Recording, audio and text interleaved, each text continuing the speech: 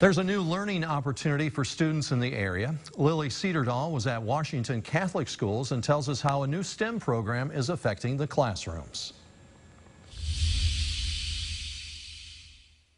Announced the STEM program as a part of their curriculum back in August. Now, the people I spoke with today say students, staff, and parents are already having a positive reaction to the STEM programs, so adding the preschool was just a plus. I am so excited to be one of the first Catholic uh, STEM preschools in, in our area. The school system raised funds for the STEM curriculum preschool through 12th grade at their annual gala fundraiser last summer.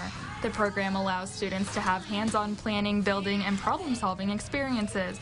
Washington Catholic preschool teacher Sarah Vogus says this way of learning helps keep her students engaged. As a preschool teacher, I don't like worksheets. Um, that's not going to really teach these kids. It's it's getting involved in their projects. It's learning their ABCs and one, two, threes with their hands and creating. Washington Catholic Schools kindergarten teacher Shannon Lee says the STEM curriculum is effective in her classroom as well. This year, I've noticed just such a growth in their vocabulary as far as science goes.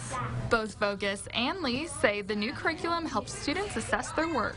They decide, okay, did I make my blueprint? Is it working? Does it work? It's interesting to see them say, oh, I should have tried that, or I should have done this. For kindergartner Sadie Gilly, she loves the creativity the STEM projects provide. The free build, I, we made uh, houses and like stuff.